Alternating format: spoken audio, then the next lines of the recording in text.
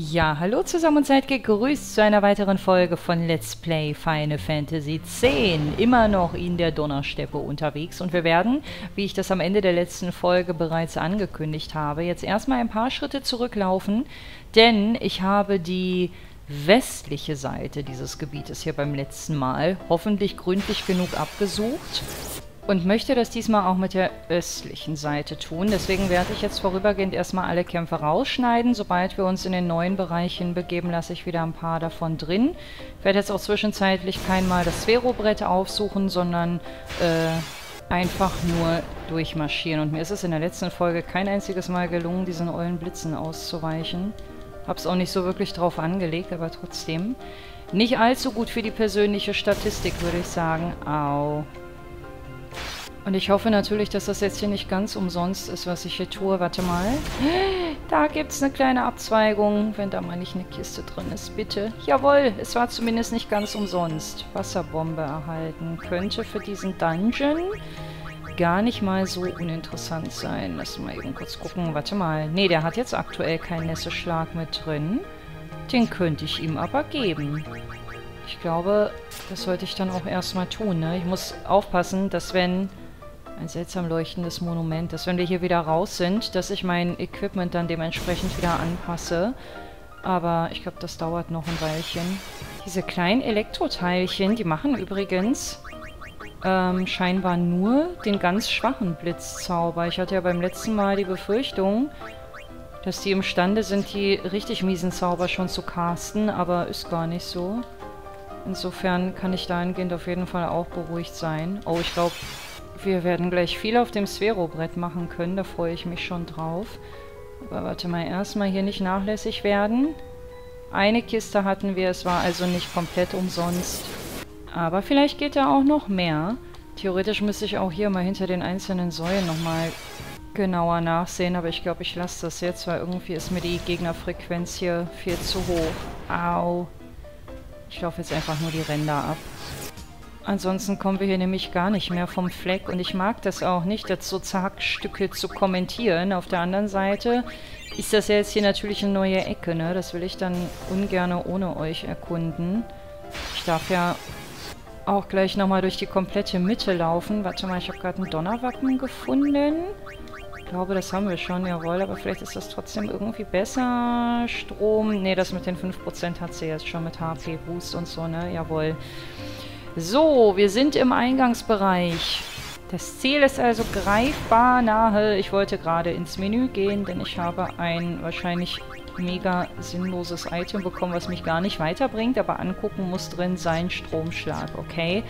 Hilft uns hier nicht wirklich weiter. Ah, warte mal, ich wollte mich eigentlich hochheilen. Du, ich werde jetzt mal kurz äh, die Sphero-Brett-Verstärkung mitnehmen und äh, den ganzen Rückweg dann zu äh, zu diesem Gasthaus da, wo ich den Part auch gestartet habe, dafür dann äh, rausschneiden, okay? Das ist krass. Ich bin schon bei fast 20 Minuten Aufnahmezeit, aber ich wusste am Ende der letzten Folge schon, dass das hier ein bisschen, bisschen chaotisch starten wird. Insofern alles okay. Äh, warte mal, wo wollte ich hin? Hier wollte ich hin, weil Sackgasse, richtig? Ich mach das einfach mal.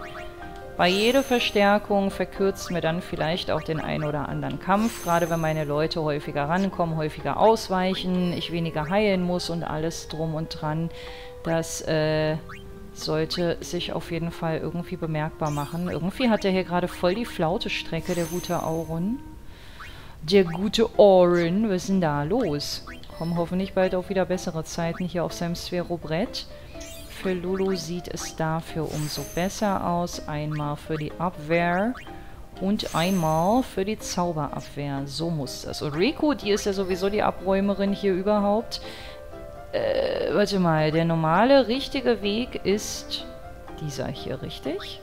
Das heißt, bis hierhin kann ich sie gehen lassen. Dann wird es Zeit, ein bisschen was zu lernen. Und dann kommt sie gleich in den nächsten Teilbereich. Das ist auf jeden Fall mehr als praktisch. Und sie lernt was Neues. Fortuna wird wahrscheinlich den Glückswert steigern. Sinngemäß. Ja, wir gucken jetzt erstmal hier noch.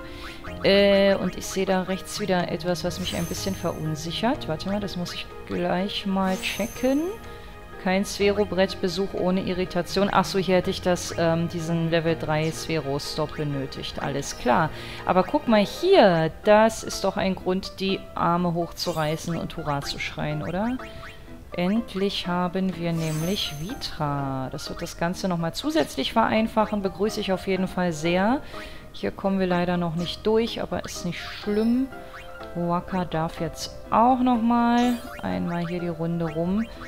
Äh, dann haben wir einmal den Zeitspheroiden und ein bisschen mehr MP, die er zuletzt auch kaum bzw. gar nicht gebraucht hat. Aber so sieht das doch schon besser aus. Wir sehen uns gleich im Reisebedarf wieder. Wow, dieses bisschen hin und her gelaufen, in Anführungsstrichen, hat jetzt 32 Minuten lang gedauert. Also ich war äh, gut lange unterwegs, kann man glaube ich so sagen. Auf jeden Fall, das ein oder andere Level-Up ist drin. Ich werde jetzt hier für die nächste Wegstrecke dann auch erstmal davon absehen. Ich zeige euch auch gleich wieder ein paar Kämpfe. Ich glaube, dieser Part bleibt, egal wie lange der am Ende dauern wird, so oder so äh, relativ kampflastig. Aber ist auch okay. Wir haben ja zuletzt in Guado Salam viel Story-Input auch bekommen und das ist doch eigentlich ganz cool wenn das immer mal wieder so ein bisschen hin und her switcht. So, Kimari, Rückzug für dich. Und zwar, ich komme gar nicht so weit. Dann laufen wir halt einmal bis hierhin. So, bei Oren kommt jetzt auch wieder Bewegung rein in zweierlei Hinsicht, denn endlich darf er auch mal wieder ein Upgrade gesponsert bekommen. Und hier, äh, genau, in diese Richtung ging es nicht, deswegen latschen wir jetzt mal diese Route entlang. Mit ein bisschen MP-Boost, der in ihrem Fall nicht schaden kann. Rico jetzt auf ähnlichem Levelniveau, langsam wie alle anderen auch. Ich glaube, sie hat ganz gut aufgeholt jetzt über die Zeit. So, Waka, ein Schritt nach vorne. Meine Leute sind, ihr werdet das gleich in den Kämpfen auch sehen, eigentlich schon, schon ganz gut dabei. Also richtig gefährlich wird hier kein Kampf mehr. Die Hinterhalte sind manchmal ein bisschen unangenehm, aber ich glaube, wir sind ganz gut gewappnet für das, was jetzt kommt. Ich weiß auch nicht mehr, ob für den nächsten Abschnitt auch neue Gegner auf uns warten. Beziehungsweise im neuen Abschnitt. Huch, voll erschrocken. So, ich werde jetzt aber trotzdem einmal kurz den anderen Weg hier mal probieren. Einfach um auf Nummer sicher zu gehen, dass wir da auch im gleichen Gebiet rauskommen. Ja, guck mal, man sieht oben links in der Minimap schon, ne? Die linke Route wird dann... Oh, hier ist direkt eine Kiste. Wird dann wahrscheinlich wieder zum Reisebedarf führen. Ich werde das jetzt nicht austesten, weil ich das Gefühl habe, dass hier wirklich alle zwei Schritte äh, irgendwie ein Gegner auf uns wartet. Okay, der ist neu, keine weiteren Fragen. Aber ich finde das sehr cool, weil ich bin jetzt ein bisschen übersättigt durch die ganze Kämpferei und äh, finde es gut, wenn hier mal ein bisschen Abwechslung herrscht. So, warte mal, wer bist du denn überhaupt? Eisengigant. Keine Elementarschwäche, ungeil. Äh... Äh, warte mal. Nee, ich muss jetzt... Oh, jetzt bin ich schon wieder total aus dem Konzept. Ich bin gerade so in meinem Modus anhand der letzten Gegner, dass ich schon wieder voll vergessen habe, was ich hier eigentlich machen will. Lichtschleier. Klingt schon mal gar nicht so verkehrt. Ähm, so, wir greifen einfach mal an. Hier wäre jetzt sowas wie Panzerbrecher, glaube ich, ganz gut. Äh, Kraftbrecher kann aber, denke ich mal, auch nicht schaden. Bin gespannt, was der am Ende an Energie und sowas alles abwirft. Autsch. Trotzdem kein Weltuntergang. Es ist alles im Rahmen. Das Leveln hat sich so ein bisschen bezahlt gemacht. Dann können wir Tiles auch mal attackieren lassen. Der verträgt ja ein bisschen was. Theoretisch kann hier jeder mal in den Angriff gehen, ohne dass ich mir Sorgen machen muss, dass äh, hier irgendjemand nicht mehr zum Zuge kommt. Äh, der ist aber nicht immun. Und wir weichen ab und zu aus. Aber ich glaube, das ist eh so eine Spezialität vom guten Tidus. So, wollen wir mal Eisra probieren? Irgendwas, was nicht elektronisch anmutet, kann, glaube ich, nicht verkehrt sein. Und den Rest, den kämpfen wir jetzt einfach runter. Primär mit Oren und Kimari, wenn ich denn schon die Wahl habe. Und ja, ich habe noch Ekstase-Fähigkeiten, die ich einsetzen könnte, aber es geht in der Regel auch so. Insofern äh, behalte ich das auch erstmal bei. Dadurch, dass er so oft daneben haut, muss ich es auch nicht zwingend auf äh, auf, diese, auf diesen Erblindungsstatus bei denen anlegen. Aber dieser Lichtschleier, der ist interessant. Irgendwie habe ich das Gefühl, Vielleicht kommt das auch nicht von ungefähr, dass dieser Lichtschleier irgendwelche guten ähm, Verbesserungen hervorbringen könnte. Vielleicht ist mein Unterbewusstsein da schon wieder gut dabei, ich weiß es nicht. So, kommen jetzt nur noch diese Gegner hier oder gibt es ja auch normale Standardgegner? Ich weiß es nicht. Ich lasse den jetzt noch ein zweites Mal drin, aber ich denke danach ähm, haben wir den eigentlich schon oft genug gesehen, oder? Was sagt ihr? Jetzt wäre das natürlich praktisch, wenn das ein Livestream wäre, nicht wahr? Obwohl, nee, das geht ja gar nicht im Livestream. Ich kann das ja dann nicht rausschneiden. Da müsstet ihr euch das ja angucken, egal ob ihr wollt oder nicht. Von daher, ähm, ja, den gucken wir uns noch an. Danach wird dann äh, rumgeschnibbelt. So, Lulu, einmal zaubern pro Kampf sollte drin sein. Ich meine, dass der auch mehr Erfahrungspunkte dagelassen hat als die anderen Gegner, die wir vorher bekämpft haben. Au. Das hat wehgetan, aber Pflaster drauf und weiter geht's.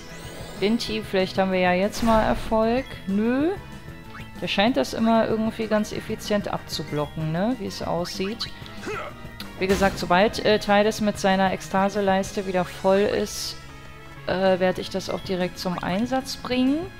Und ich zauber deshalb jetzt nicht die ganze Zeit mit Lulu, weil ähm, ich mir ihre MP so ein bisschen aufheben will.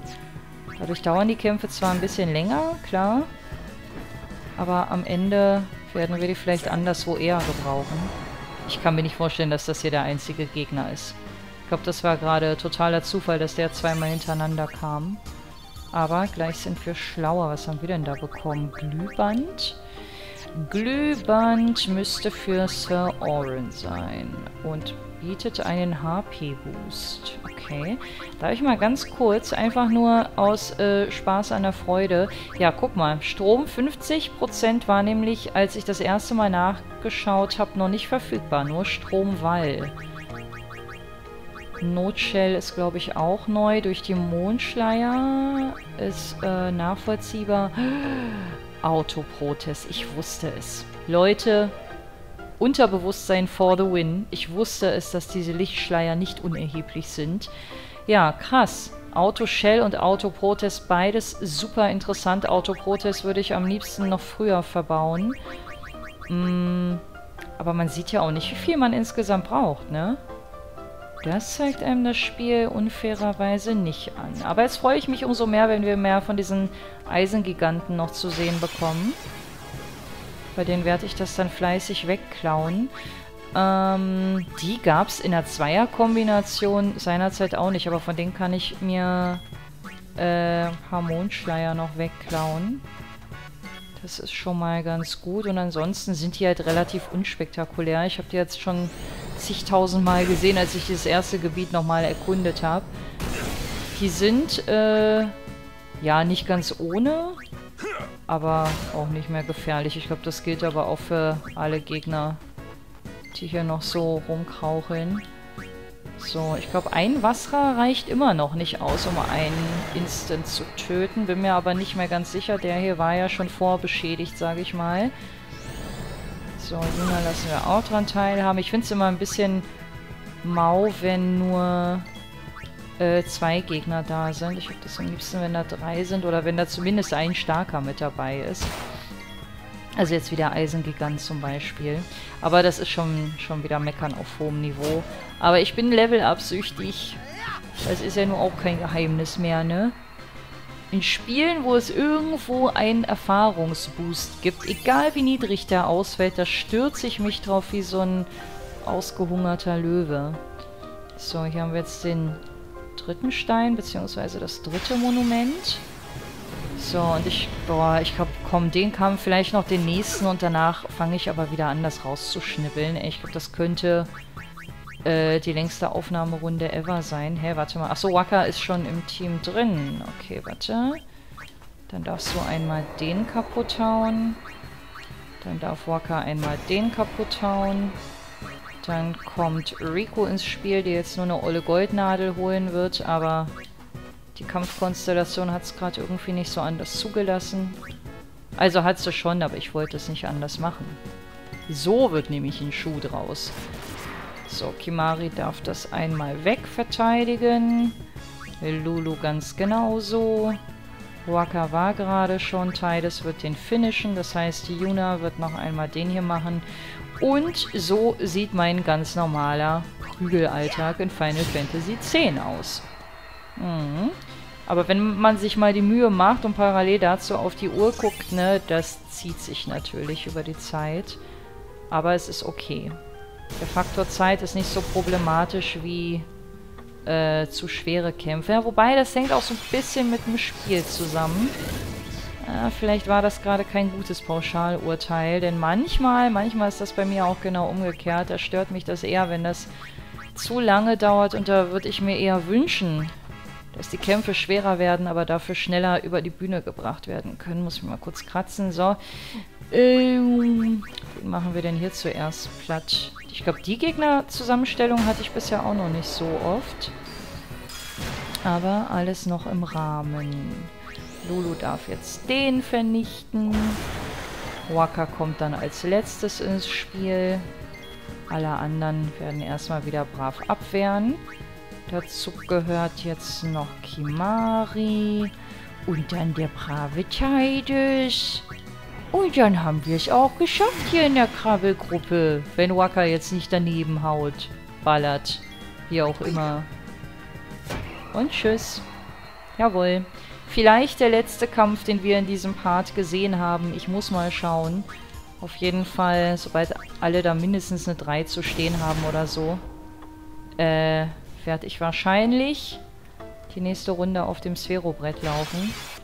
Da hat es den Teil das jetzt ein bisschen erwischt. Äh, ich springe jetzt übrigens immer so ein bisschen überhastet ins Menü, weil ich keinen Bock habe, vom Blitz getroffen zu werden und dann direkt im, im nächsten Kampf zu landen. Ne, warte mal, wir spendieren ihm jetzt hier mal etwas bessere Heilung. So, da oben ist der nächste Speicherpunkt. Kann es sein, dass dieser Abschnitt gar nicht so groß ist? Oder bilde ich mir das ein?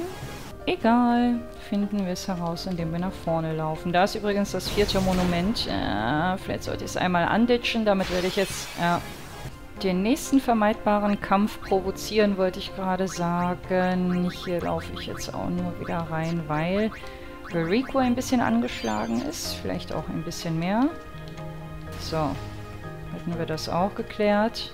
Wahrscheinlich geht jetzt ja auch gleich die nächste Cutscene irgendwo los. Neue Waffe für Kimari. Die klang auch relativ vielversprechend, weil da irgendwas mit Stärke drin war. Hier, Stärkejäger. Durchschlag und Kraftwandler. Ich glaube, das könnte gegen diese Eisengiganten oder wie die heißen gar nicht mal so verkehrt sein. Allerdings habe ich bisher auch echt wenige von denen nur angetroffen. Mann, ey, diese Blitze. Ich will jetzt kurz zum Speicherpunkt, um mein Zeug hier wieder aufzufüllen. Es gibt momentan eine Sache, die mich eigentlich nur richtig, richtig stört. Und das ist, dass ich derzeit ständig in Hinterhalte gerate. Und ich keine Ahnung habe, wie ich das irgendwie unterbinden kann, weil die Kämpfe dauern so schon relativ lang. Ähm, aber wenn mir dann direkt zu Beginn ständig ein Kampfnachteil entsteht, dann ist das äh, dezent frustrierend an der einen oder anderen Stelle. So, aber egal, wir bekommen Blindschock. Ich wollte eigentlich gar nicht sagen, dass wir einen Blindschock bekommen, aber wir bekommen... Jetzt habe ich vergessen, was ich sagen wollte. Warte mal, was ist denn das, was er hier als nächstes lernt? Subvita. Das zieht, glaube ich, dem Gegner Lebensenergie ab und führt sie einem selber zu. Kann auf jeden Fall nicht verkehrt sein. So. Äh... Äh... Warte mal, also ich gehe erstmal auf jeden Fall hier hin. Aber warte mal, das Problem hatte ich doch in der letzten Folge schon, dass ich irgendwie nicht gepeilt habe, wo jetzt hier der richtige Weg ist für ihn. Moment. Moment, wäre doch gelacht. Achso, nee, hier kann ich ja jetzt gar nicht mehr weiter was aktivieren. Äh, äh, muss ich dann wirklich hier durch? Gab es nicht irgendwie einen anderen Weg noch? Okay, also Kimaris Route ist auf jeden Fall nicht so ganz durchschaubar für mich. Wessen Pünktchen sind das denn hier? Ach, dann ist er in Teilesgefilden unterwegs, okay. Ja. Aber guck mal, egal welche andere Route wir jetzt äh, genauer beleuchten, Er ist im Grunde genommen uns umzingelt von seinen Mitstreitern. Das heißt, für irgendeinen Weg müsste ich mich entscheiden. Hier hätte ich ihn auch hinschicken können. Das ist wahrscheinlich die Waka-Ecke, ne? Ja, wäre vielleicht eine Überlegung wert, wenn das nicht mit so viel Lauferei verbunden wäre. Aber wenn ich jetzt nichts übersehen habe, dann lass uns doch einfach mal hier weiterlaufen. Ich meine, er ist von seinem Kampfstil Teil des sowieso am nächsten. Insofern ist das schon okay. So, warte mal. Ey, hier ist schon wieder voll die Flaute. Irgendwie ist seine Route definitiv mit zu vielen leeren Feldern gespickt. Und ja, ich weiß, dass ich Spheroiden habe, um da irgendwelche Statuswerte raufzupacken, aber die will ich mir vorerst noch aufheben. So, da lernt Juna auch gleich wieder was Neues. Geschick um 4 und Magie auch. Wow, wow, wow. Bei ihr geht das auf jeden Fall gerade gut ab. Hier brauche ich, glaube ich, ein Level 3 Teil. Genau. Ich finde, das immer noch ein bisschen schwer zu erkennen. Schimpft mich Blindfisch, aber ist so. Shell. Okay. Shell haben oder Shell nicht haben. Das wird irgendwann sicherlich den Unterschied machen. Aber vorerst nicht in diesem Dungeon. So, Kraftsphäroid einmal für ihn. Und Riku wieder vier Felder, die sie sich weiter bewegen kann. Und mitunter eine neue Ability, die sie da lernt. Finde ich gut. Finde ich sehr, sehr gut. So, was wird es sein? Was wird es sein? Was wird es sein? Bestimmt was voll schwaches Almosen. Äh, war das nicht... Also entweder sie zwackt dem Gegner irgendwas ab oder sie beschmeißt den Gegner mit Geld. Ich glaube fast, dass es Letzteres war. Aber beschwören will ich es jetzt nicht. Ich kann ja auch nicht beschwören. Ich bin ja auch kein Medium. So, bei Lulu ist der Weg erstmal klar. Und äh, ich finde ihre Farbe auf jeden Fall am schönsten hier von den ganzen Linien und Pünktchen und hast du nicht gesehen. Jawohl, so. Hier können wir dann noch einen kleinen Abstecher machen und der Rest hier lernt sie Bio. Wann kommen denn die ganzen Garzauber eigentlich? Die werden wahrscheinlich noch ein bisschen auf sich warten lassen. Gravitas. Na gut. Alles noch Zukunftsmusik. Auf jeden Fall ist die Gruppe wieder gut gestärkt. Und ich stürze mich jetzt mal weiter ins Getümmel. Boah, ey, das wird vielleicht die längste Aufnahme ever sein. Und ja, ich habe es gerade nochmal gecheckt. Almosen äh, beschmeißt den Gegner tatsächlich mit Gil und macht ihn wahrscheinlich auf also basierend auf der Höhe der geworfenen Gildern dementsprechend auch Schaden. Das ist, finde ich hier gerade gar nicht mal so schlecht mit dem 10% Bonus. Ich glaube, das kriegt er jetzt auch. Ähm, wisst ihr was, Leute? Ich werde diese Strecke jetzt nicht zweimal ablaufen, sondern das so machen. Ich gucke jetzt so ein bisschen links und rechts und äh, werde dann im Nachgang mir... Oh, Everyone, wait. What's up? I have something to tell you. Here? We're almost out of here. Let's go!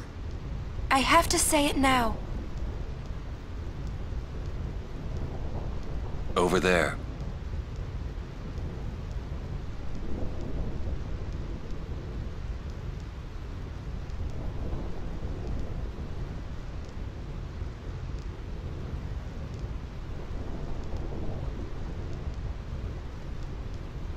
Somehow, my bad feelings always come true.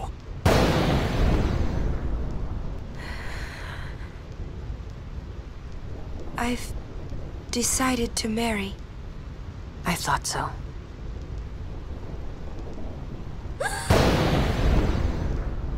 But, but why? Why'd you change your mind? For Spira's future, and Yevon's unity. I thought it would be the best thing to do. That's not good enough. Wait, is it? Is it because of Lord Jiskel? Hey, that sphere! Show me. I can't. I must speak to Maester Seymour first. I truly am sorry, but this is... It is a personal matter. You're kidding, huh? As you wish. I'm sorry. Just one thing. I won't quit my pilgrimage. then it is fine. Wait a minute, Orin. You don't care? I mean, you're not gonna stop her? No, I'm not. As long as she is willing to face sin, all else is her concern. That is a summoner's privilege, as long as she journeys.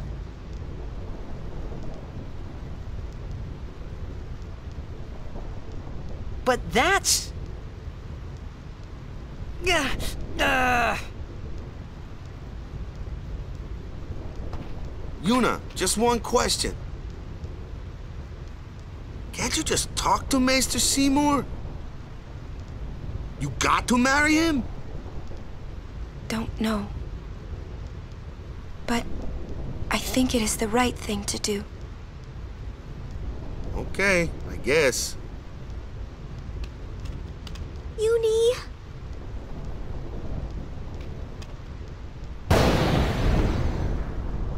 Quiet!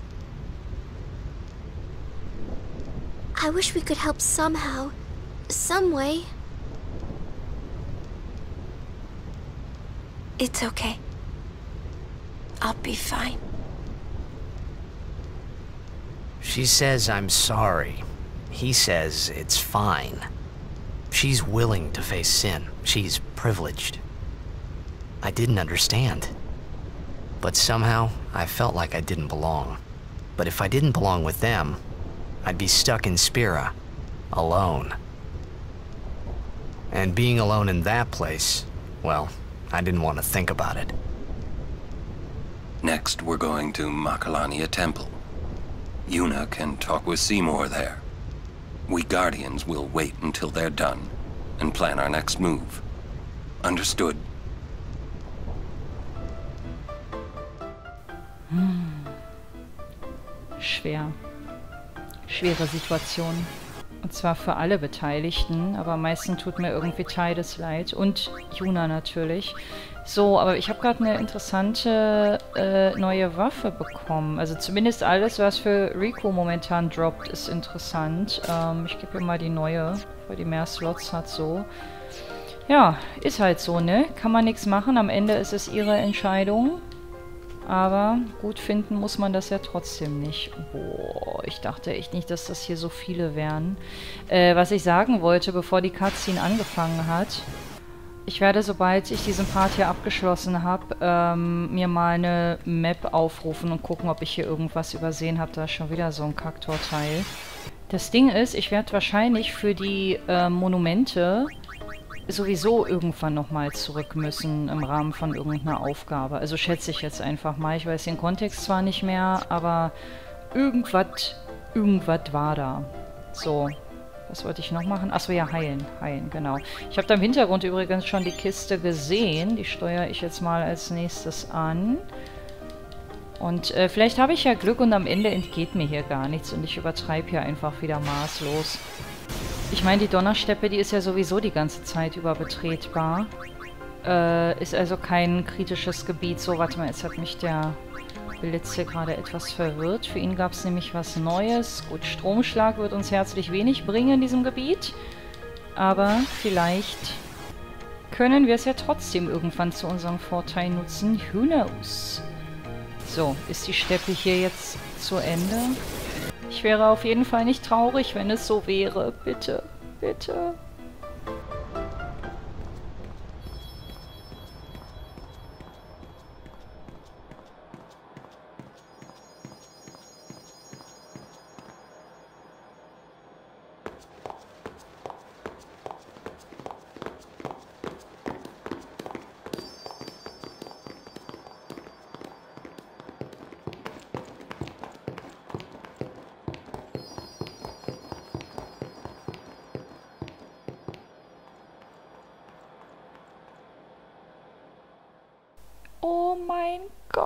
Weiß, wo wir sind. Ich habe es Tatsache geschafft. Warum kann ich hier nirgendwo speichern? Äh, nicht, dass ich jetzt in die Arme des nächsten Bosses reinlaufe. Ich glaube, hier gibt es jetzt aber auch Gegner. Ähm, ich hoffe, ich nehme jetzt nicht zu viel vorweg, wenn ich äh, darauf hinweise, so ganz dezent, dass wir uns im Makalania-Wald befinden. Einen Ort, mit dem ich viel verbinde. Unter anderem eine sehr nervige Nebenaufgabe, die für den Erwerb einer Solaris-Waffe erforderlich ist. Ich weiß nicht mehr genau für wessen, könnte es Kimaris gewesen sein, bin mir nicht mehr ganz sicher. Auf jeden Fall werden wir hier gut beschäftigt sein, auch für die Gegner, glaube ich, nicht so ganz ohne sind. Aber das ist noch Zukunftsmusik, Leute. Erstmal muss ich in Erfahrung bringen, bevor ich diesen Part hier beende, ob ich in der Donnersteppe was ausgelassen habe. Im schlimmsten Fall werde ich nämlich beim nächsten Mal nochmal zurücklatschen dürfen. Aber ich glaube, hier gab es später auch irgendwie die Möglichkeit, ähm, die Encounter-Rate auf Null zu setzen. Ich weiß aber nicht mehr, wie man da rankommt. Gegebenenfalls kann ich das noch nachrecherchieren, aber ich glaube nicht, dass es jetzt schon möglich ist, das irgendwie auf Null zu setzen. Will ich ja so gesehen auch gar nicht. Nur in der Donnersteppe ist es halt äh, besonders nervig, ne, weil es so viele sind. Ähm, ich habe auf jeden Fall schon lange keinen Part mehr aufgenommen, den ich so zerhackstückelt nur kommentiert habe. Sind auch nicht unbedingt meine Lieblingsparts, aber ich bin jetzt gerade bin ich unfassbar froh, dass ich diese olle Steppe hinter mich lassen konnte. Warte mal, jetzt schaltet sich mein Bildschirm schon wieder fast aus. So, nach Süden kommen wir nicht weiter raus. Das ist okay. So, bei Kimari wird es jetzt interessant, denn hier gibt es eine neue Route für ihn. Gut, dass ich die Sphäropässe nicht vorher alle schon verballert habe. Also gut, man bekommt auch relativ viele gesponsert, ne? Aber trotzdem. So, Waka. Mit Waka können wir bis hierhin schon mal vorpreschen. Ihm einmal das mitgeben. Einmal ein bisschen Magie. Was ist das denn da unten für eine komische Triangel? Ich glaube, da werden wir uns als nächstes hin begeben. Und Subvita hat er auch gelernt. Jawohl. So, bewegen ist nicht mehr drin. Oren darf dafür wieder ein paar Schritte weiterlaufen und kommt endlich mal wieder in einen Bereich, wo er auch ein bisschen was an Verstärkung mitnehmen kann. Ist ja nicht zu fassen, wie lückenhaft seine Route hier teilweise ist. Und trotzdem ist er so unfassbar stark und gut dabei für unser Team. So, hätten wir das auch geklärt. Dann hoffe ich jetzt mal, dass der nächste... You're worried about Yuna. Of course I'm worried about her. What is she thinking? The simplest answer would be, in exchange for agreeing to marry him, she hopes to negotiate with Seymour. Negotiate what? I wonder. What? All by herself? She's strong, but Seymour is the better negotiator. Well then, why don't we do something about it? Yuna wants it this way. I just don't get it. Doesn't she trust us? On the contrary, she doesn't want us caught up in whatever it is she's planning. yeah, that's what I thought. But that makes me worry even more. She could just tell us. That's the way she is. She's naive, serious to a fault, and doesn't ask for help. Hmm. You're probably right. Yuna's easy to read. Yeah, she is. but hard to guard. Stand by her. Always.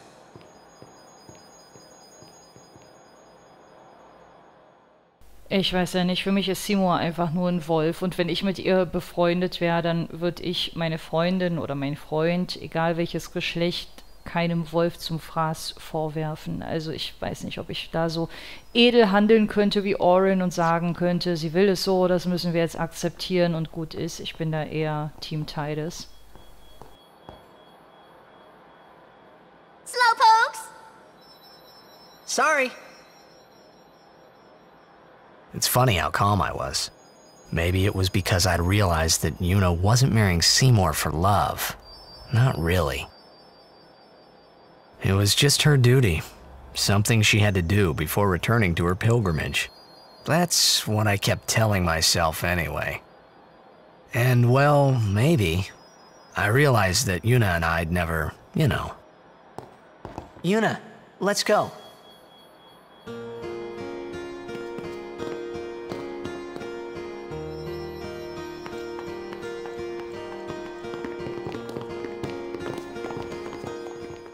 Endlich haben wir auch die wunderschöne Musik dazu. Da steht's schwarz auf weiß. Wir sind im Makalania-Wald. Oh mein Gott, was freue ich mich auf all die Dinge, die hier passieren werden. Das ist... Es ist vor allen Dingen so schön, die Donnersteppe hinter sich gelassen zu haben. Ich weiß, ich wiederhole mich, aber ich äh, kann es gar nicht oft genug sagen. Gut, ihr Lieben, ähm, nochmal kurz als Abriss, falls ihr euch wundert, was es mit der heutigen Partlänge auf sich hat. Vielleicht kommt es wieder genau hin, vielleicht auch nicht. Ich nehme jetzt eine Stunde und 20 Minuten auf. Vielleicht habt ihr jetzt den kürzesten, vielleicht den längsten Part dieses Let's Plays gesehen. Ich habe keine Ahnung. Ich verlasse mich jetzt auf mein Bauchgefühl und mache hier einfach einen Cut. Wenn es Auffälligkeiten gibt, war es nicht beabsichtigt, aber ich brauche mich ja auch nicht rechtfertigen. Ich wollte es nur gesagt haben, weil ähm, die Zeit, die ich tatsächlich spiele, häufig von der ab abweicht, die ihr tatsächlich zu sehen bekommt, gerade bei rundenbasierten Kämpfen mit viel Rausgeschnibbel und so. Aber gut, ihr wollt das nur kurz mal erwähnt haben. An dieser Stelle bedanke ich mich auf jeden Fall fürs Einschalten und würde mich sehr freuen, wenn ihr auch beim nächsten Mal wieder mit dabei seid. Macht's gut und bis dahin, wenn ihr mögt. Ciao!